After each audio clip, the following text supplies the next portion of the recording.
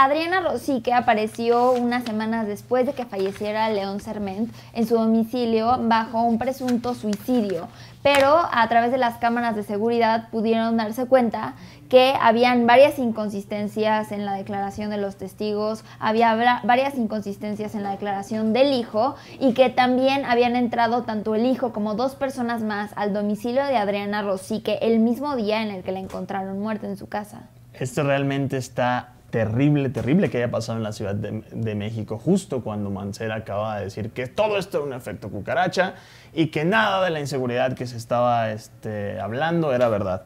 Ahora, no, no, queremos hacer esto más amarillo de lo que es. 46 heridas tuvo en, este, en su cuerpo eh, el cineasta, 12 de ellas fueron mortales.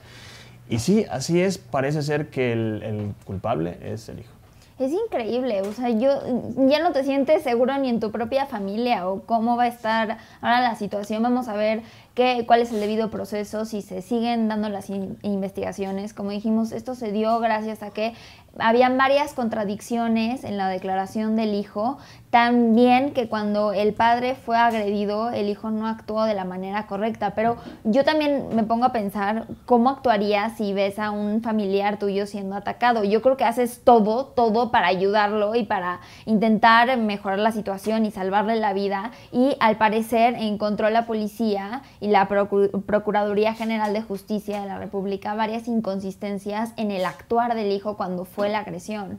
Eso es terrible, todavía no es, no, todavía no se acaba la investigación, sin embargo estaremos informándoles qué sucede.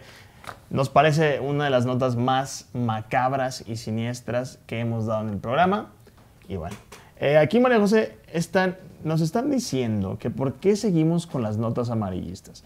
A ver, Gera Ibarrola, no, a ver Gera, estas noticias estas notas que tú llamas amarillistas son las noticias que reflejan la realidad de esta ciudad. Nosotros no inventamos, si puedes tomar cualquier periódico del país, este asesinato está en las portadas de todos los periódicos porque es relevante. Nosotros hablamos de lo que es relevante, puede ser amarillista o no, pero es lo que es relevante. Y también de lo que la gente está hablando en redes sociales. Al final nosotros estamos transmitiendo desde las redes sociales y queremos tocar qué es lo que está hablando para recopilar mucho la opinión de, lo que, de todo lo que están comentando en estos momentos. Y también, bueno, obviamente respetamos que es un acto trágico, que es un acto de inseguridad y eh, nuestras condolencias para los familiares y los amigos de eh, la familia Serment Riosique.